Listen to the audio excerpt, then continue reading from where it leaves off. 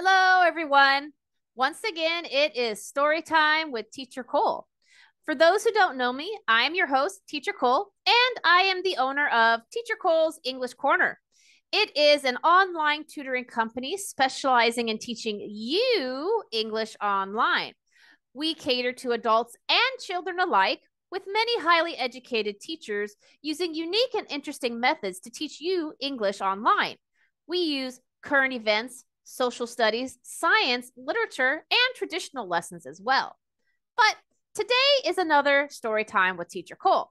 And today we're going to continue our holiday theme with another Christmas story. We're going to revisit Arthur and his sister Violet.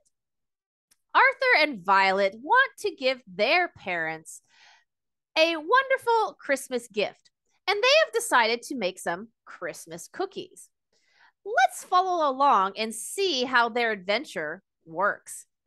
Let's get started, shall we? Arthur's Christmas Cookies, written and illustrated by Lillian Hoban.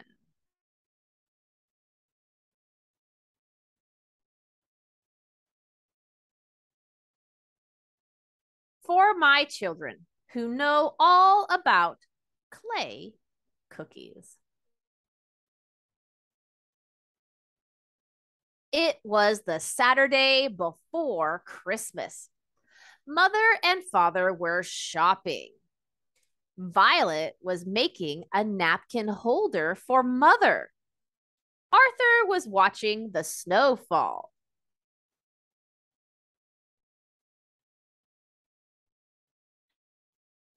I was making presents too, said Arthur. I made a wooden lamp for father, but it would not stand right.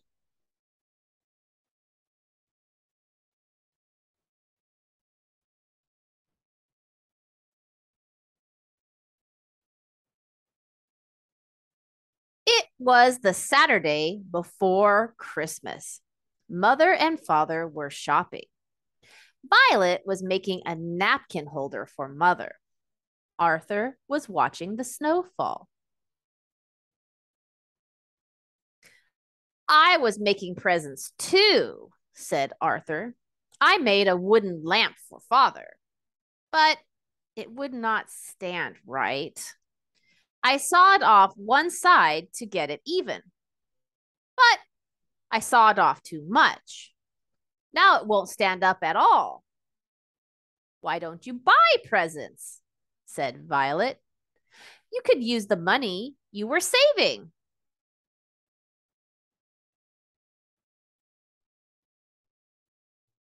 Well, I only had 52 cents, said Arthur.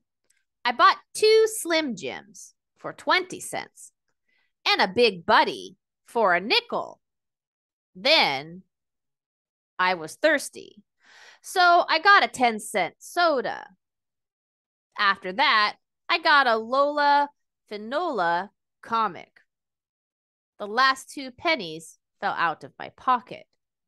They rolled into a crack on the porch, and now I can't get them out.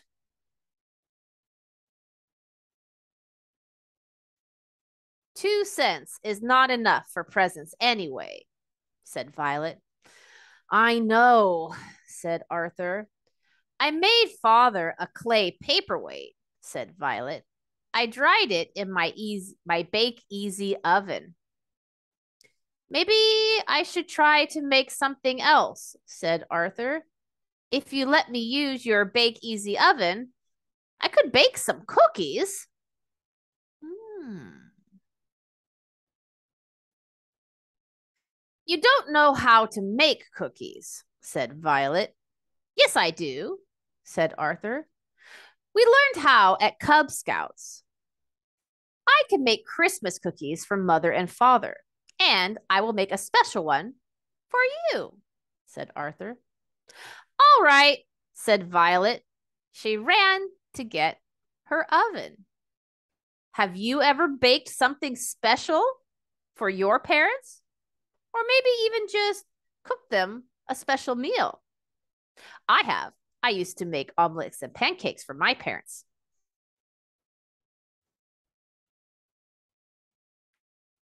Arthur tied an apron around his waist.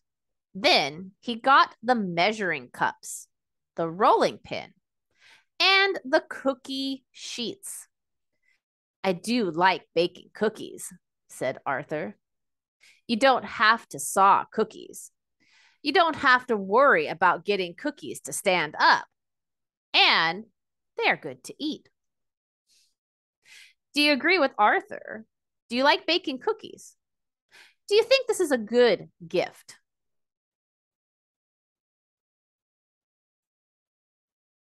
Here is my bake easy oven, said Violet. Remember, you promised to make a special cookie for me. I remember, said Arthur. I will make you a special reindeer cookie. Arthur, called Norman. Come on out. Let's have a snowball fight.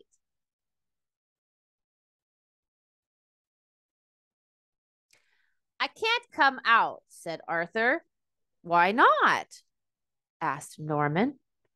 I am baking cookies now, said Arthur. Can I come in? Asked Norman. Can I lick the bowl and the scraper? I am not making that kind, said Arthur. Well, what kind are you making? asked Norman. I am making Christmas cookies. The kind you roll out, said Arthur. I am making stars and angels and bells for mother, and Christmas trees and Santa Clauses and reindeer for father. You said you would make a reindeer cookie for me, said Violet. I know, said Arthur. Let me help, said Violet. It is my oven. Hmm. Do you think Arthur's cookies are going to be wonderful and amazing? Hmm. Let's see if he has any trouble. I will let you and Norman get the flour and the sugar and the butter, said Arthur. But I will make the cookies by myself. All right, said Norman. Where's the flour? It is next to the glass jar of sugar, said Arthur. Norman took down the glass jar of flour and the jar next to it. Now, there is nothing for me to do, said Violet. You can get the butter, said Arthur. All right, said Violet. Arthur mixed the butter and the sugar in a bowl. He put the flour in too. Then he added some water and patted the dough into a large ball.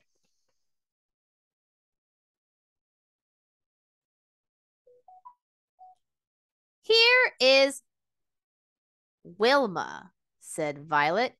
She can watch you bake cookies. My big sister bakes cookies, says Wilma. She puts in raisins and nuts and sometimes chocolate chips.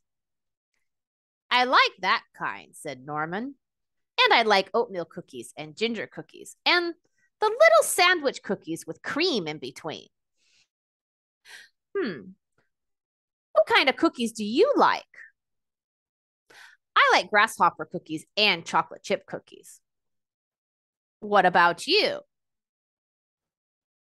Well, said Arthur, I am making plain sugar cookies. I like plain sugar cookies, said Norman. So do I, said Wilma. Move back. Violet, said Arthur, I can't roll out the dough without mashing your nose. It's Wilma, said Violet. She's pushing. You pushed me first, said Wilma, and I'm pushing back. Uh oh. Watch out, yelled Arthur. Now look what you did. The ball of dough fell on the floor. It rolled under Norman's foot. It's still good, said Norman. Just a little dirty. Ew. Would you eat some cookies that someone had stepped on? I don't know. Do you think it's dirty? That does it, said Arthur. All of you, get out. Please, said Violet. We will be nice. If you make us each a special cookie, I will make hot chocolate and we can have a before Christmas party. Can I have a Santa cookie? asked Norman. Me too, said Wilma. All right, said Arthur. But no more pushing. Arthur rolled the dough flat. He cut some cookies for mother and father, and the special cookies too. He made a Christmas tree for himself. Then he put the cookie sheets in the bake easy oven. Now I will make hot chocolate, said Violet. Put some marshmallows in it, said Norman. My big sister puts whipped cream in hot chocolate, said Wilma. For Christmas parties, we stir in we stir it with candy canes. We don't have any candy canes, said Arthur. When will the cookies be done? asked Violet. They all looked inside the oven. The cookies don't look done, said Norman. They look just like they did when you put them in. Hmm.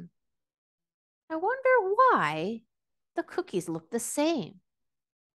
Hmm. Well, said Arthur, I think they will be done by the time the hot chocolate is ready. Arthur got the cups and saucers and spoons. Then he put a marshmallow in the bottom of each cup. Violet poured the hot chocolate and the marshmallows floated to the top. Arthur went to get the cookies. Just like they did before, he said, but they feel hard when I push down on them. So they must be done. Hmm.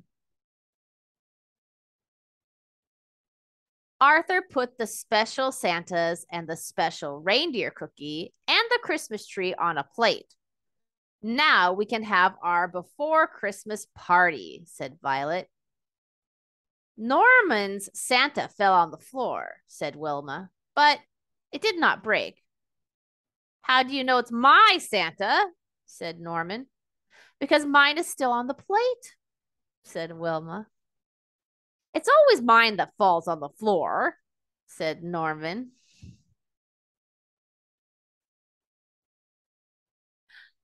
Norman took a bite of Santa's hat. What is the matter with Norman? said Violet. Norman's mouth is funny. You have to be careful when you eat these cookies, said Norman. My loose front tooth came out, but I never got a bite of cookie. Hmm. What do you think is wrong with the cookies? Can you make a guess, a prediction? Let's see.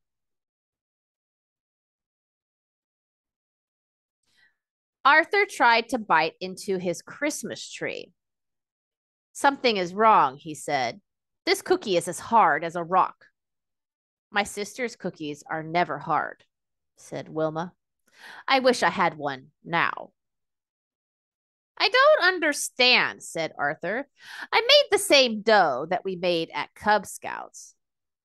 I am licking mine, said Violet.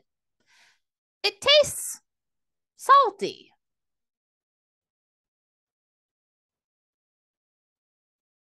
These are salt cookies, said Norman. They are as hard as rocks. Arthur looked at his cookies. Then he looked at Norman. Norman said, I think I gave you the salt instead of the sugar. It's not fair, said Arthur. My presents never turn out right. My lamp would not stand. My cookies are like rocks. Nothing I make is any good. He began to cry. Oh, poor Arthur.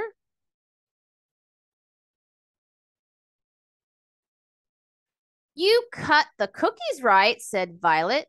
They look nice. You know what? said Norman. My mother makes play clay with flour and salt and water. These cookies are made of flour and salt and water. Arthur has baked clay cookies, clay angels and bells and stars, and Christmas trees and Santas. I made a clay paperweight, said Violet. I am painting it blue. Arthur stopped crying. He wiped his eyes and blew his nose. He drank all of his hot chocolate. Then he thought for a while. Hmm. Can you think of a solution to Arthur's problem? Hmm. What can he do with hard clay cookies? Let's see. Maybe I could still use my cookies, said Arthur. Maybe I could paint them all different colors. You can't eat clay cookies, even if they are different colors, said Wilma. They would not be for eating, said Arthur. They can be Christmas tree ornaments. Father, mother, and father can hang them on the tree. They will have my present every Christmas for a long time.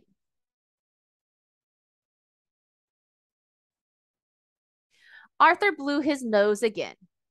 Then he got out his paints and the tape and some hooks.